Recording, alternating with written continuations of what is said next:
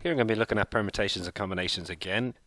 There was an introductory video where I looked at how to calculate the number of arrangements of objects, starting with fundamental principles of counting. And right now what I'm going to do is go through some exam style questions based around permutations and combinations. So this question starts off, in how many ways can the letters of the word history be arranged if each letter was used once? So what you could do is you can say, right, there are seven letters, so the answer is going to be well, seven options for the first box, six options then if each letter is going to be used once, then five, then four, then three, then two, then one. And using the fundamental principle of counting we looked at before, we multiply those and that gives me an answer of 5040. And when you multiply any natural number by its predecessor, so in descending order all the way down to 1. That is known as factorial, so that is just going to be 7 factorial, which is 5040. So that's the answer. So instead of doing the first method, you could just do the second method, 5040. The only stipulation for the first one was that you had to use each letter once. Well, in the second one, the letter H must be first. So if you're looking at the box method there, and you wouldn't have to draw this out every time, but it's really useful for these types of questions. So in the first one, how many choices do we have? Well, we've only got one choice because H has to be used. Well, for the second one, then if H is used, we've got six, then by five, four, three, two, one. So the answer there is just one times six factorial, which is six factorial, which is 720. Okay, so you limit your choices quite a bit there. Okay, so the vowels must be put together. So the letters you're using was of the word history, and we know that there's two vowels. So that gives me 2 factorial by 6 factorial, which is 2 times 6 factorial is 720. So we have 1440. And the reason for that is because there are six different places that those two vowels could stick together.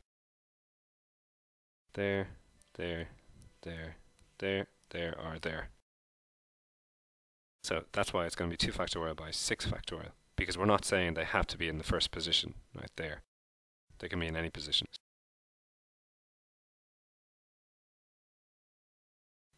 So next question, how many different teams of 15 players can be chosen from a panel of 20 if the captain must be included? So it's just teams of 15 players. It doesn't say they have to be in the same order, so we're talking about combinations. If the captain wasn't included, we would have 20C15. But because the captain has to be included, we're now only choosing from 19 people effectively, because it's going to be 1 times 19C15. C14, sorry. Which gives me a result of 11,628.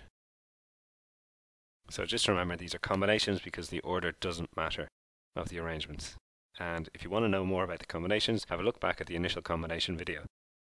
Now, if two players refuse to play on the same team, the easiest way to think about this, and this happens when you're doing some probability calculations, when you're looking at the probability of an event not occurring. Well, that's 1 minus the probability of the event occurring. And we can look at the same strategy here. So two players refuse to play on the same team. So we can look at the total number of teams and then look at the total number of teams that include those two players. So there we have 18C13 because we're just choosing 13 from a total of 18.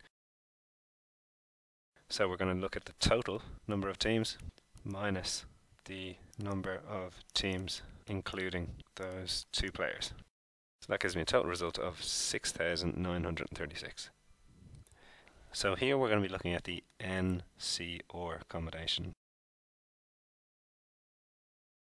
What that means is looking at the total number of combinations of n objects, taking OR of them at a time. And in the previous video, well, we didn't look at this notation. That's just another way of saying it. Um, and we know that that is equal to n factorial all over n minus OR factorial times OR factorial. So the crucial bit of information there, you're told that OR plus 3 is not equal to this. But what we can say is um, that if you're choosing OR objects from n objects, that is the same result as choosing n minus OR objects from n objects.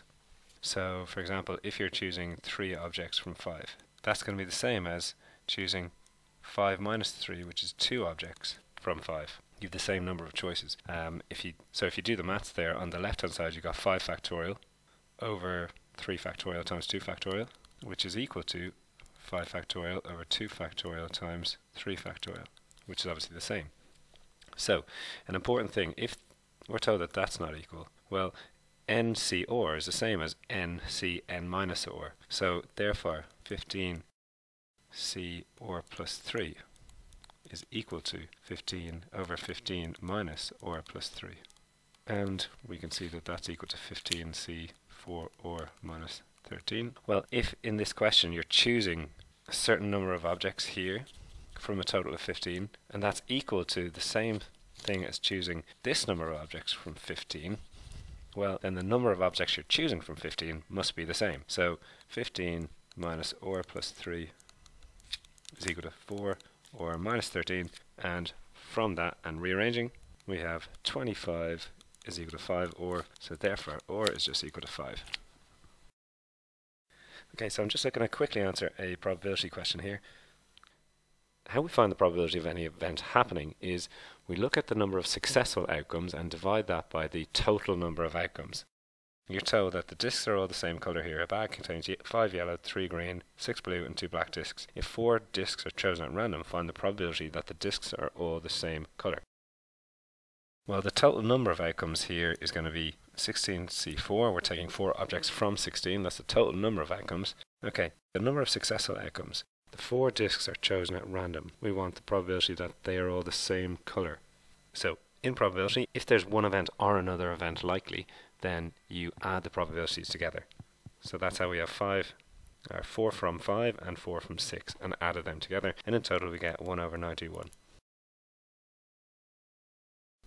So now we're looking at a situation where the discs are all different coloured. So what we do is, the total number of outcomes is 4 discs from 16.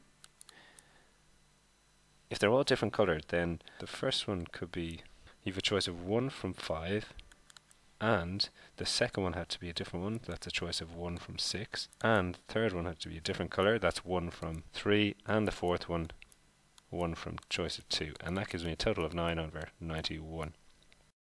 Now the next question, two of the discs are black, well the total number of options is 16C4. You have a chance of two of those discs being black, which is 2C2, and two of the discs not being black, which is 2, uh, 14C2. And that gives you an overall answer of 1 in 20. So there's some permutations and combinations questions, uh, including a bit of probability.